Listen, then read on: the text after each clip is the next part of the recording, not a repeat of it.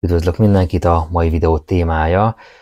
Öngyilkosság és a narcizmus. Amikor az emberek meghallják a narcisztikus szót, hát akkor ők gyakran egy olyan személyre gondolnak, aki túlságosan szereti önmagát, arrogáns, önző, azonban elutasítják annak a lehetőségét, hogy egy ilyen személy az akár öngyilkosságot is elkövethet. Az a felfogás, mi szerint, hogy a narcisztikus személyiségzavarban szenvedők nem lehetnek öngyilkosok, ez úgy gondolom nagyon mélyen gyökerezik a társadalmi tudatban, és azt is el kell, hogy mondjam, hogy ez egy súlyosan téves felfogás. A narcisztikus személyiségzavarban szenvedők felszíni viselkedése hát az valóban azt sugalhatja nekünk, hogy ők rendkívül magabiztosak, és hogy mennyire nagyon elégedettek önmagukkal, tehát azonban ez nem így van, tehát a látszólagos magabiztosságok mögött nagyon mély bizonytalanság, szégyen és önutálat az, ami rejtőzik.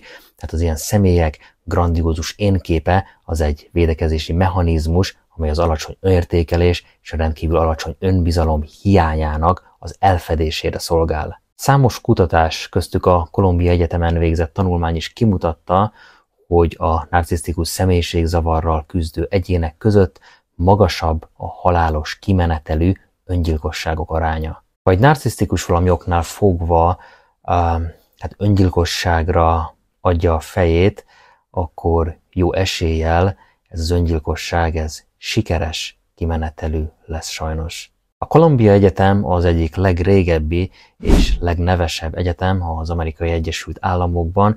Ez az egyetem ez híres a kutatási és az oktatási programjairól, valamint jelentős hozzájárulásairól a tudományos és a társadalmi élet különböző területein. A Columbia Egyetemen végzett kutatások kimutatták, hogy a narcisztikus személyiségzavarban szenvedő személyek között magasabb a halálos kimenetelű öngyilkosságok aránya, míg a borderline személyiségzavaros személyek azok gyakrabban tesznek paraszuicidális gesztusokat, azaz nem halálos öngyilkossági kísérleteket, addig a narcisztikus személyiségzavaros személyek öngyilkossági kísérletei azok gyakran végzetesek. Paraszuicidális viselkedés az olyan önsértő cselekedeteket jelent, amelyek nem halálos kimenetelőek, és nem feltétlenül az öngyilkosság szándékával történnek. Ezek a cselekedetek gyakran egy segélykiáltásként vagy figyelemfelkeltésként értelmezhetőek, és céljuk lehet az érzelmi fájdalom enyhítése, vagy egy krízis helyzet kezelésének a kísérlete. Az ilyen viselkedés gyakori a borderline személyiségzavaros személyeknél, akik hajlamosak az érzelmi instabilitásra és az impulzív cselekedetekre.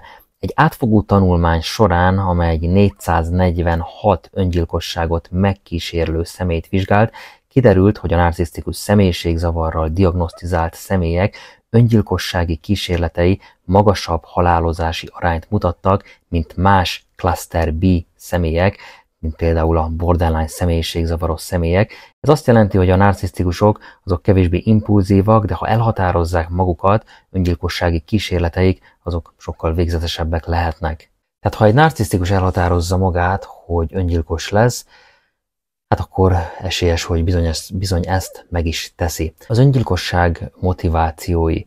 A narcisztikus személyek öngyilkossági kockázatának egyik fő oka a narcisztikus sérülésből fakadó intenzív szégyenérzet. Tehát ez a szégyenérzet náluk ez annyira súlyos lehet, hogy az adott személy az úgy érezheti, hogy az öngyilkosság az egyetlen kiút.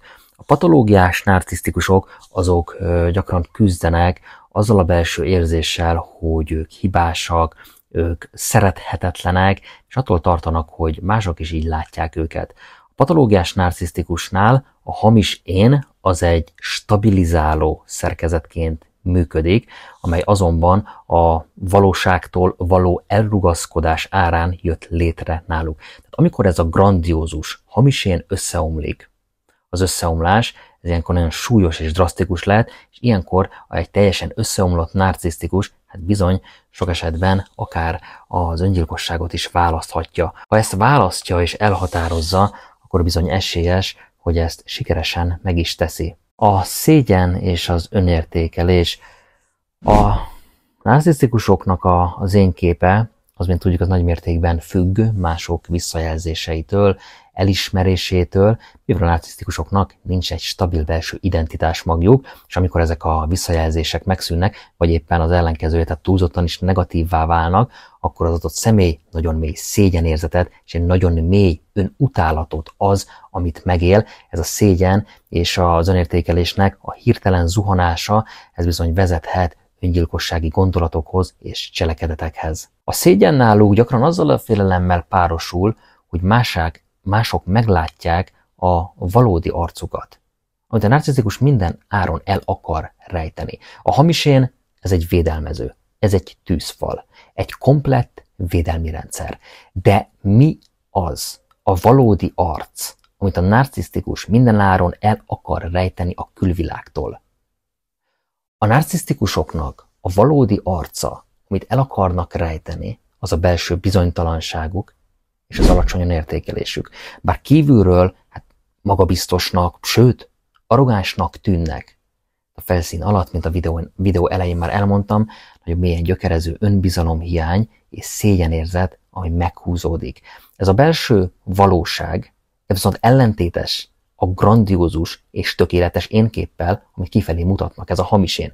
Ezért van, hogy amikor ránézel egy ilyen személyre, akkor erről a narcisztikusról te tulajdonképpen mindent el tudsz képzelni, csak azt nem, hogy ő önbizalomhiányos, csak azt nem, hogy ő szerethetetlennek éli meg önmagát, csak azt nem, hogy alacsony önértékelési van, önértékelése van, csak azt nem, hogy tele van bizonytalansággal. Mert a hamis én ezeket mind elrejti előled. De a felszín alatt az ellenkezője van annak, amit te látsz. A valódi arc elrejtése. A narcisztikusok számára a grandiózus énkép, mint elmondtam, az egy védekező mechanizmus, amelyet azért hoznak létre, hogy elrejtsék a sebezhetőségeiket, a gyengeségeiket, és a belső fájdalmukat. A gyermekkorukban, Szemveknén szerint, valahol 5 éves kor környékén hozza létre a gyermek a hamisént. Ez a védekezési mechanizmus, mint a hamisén, ez segít neki elkerülni a szégyen és az önutálat érzését, ami állandóan ott van egy bizonyos szinten bennük, de amikor a védelmi rendszerük az teljesen összeomlik, tehát összeomlik a hamisén, akkor semmi más nem marad náluk, csak egy végtelen mély szégyen és önutálat. A narcisztikusoknak a valódi arca a sebezhető, bizonytalan, önbizalomhiányos, traumatizált belső gyermeki énjük, amelyet minden áron el akarnak rejteni mások elől. Tehát a hamisén mögött, tehát a hamisén az az, amit te látsz, viszont mögötte egy félelemtől ledermet, traumatizált kisgyerek van, aki minden, csak nem tökéletes.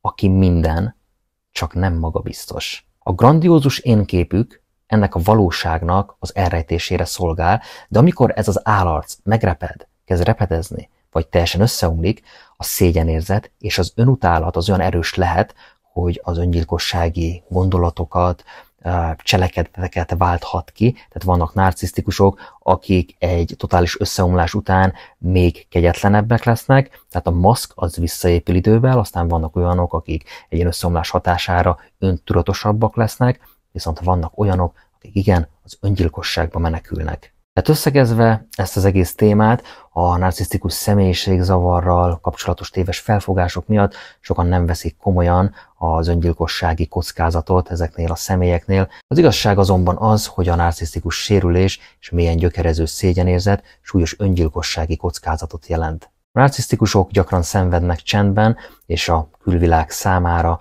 láthatatlanul küzdenek állandósult belső démonjaikkal. Ennyit a narcisztikusokról és az öngyilkosságról.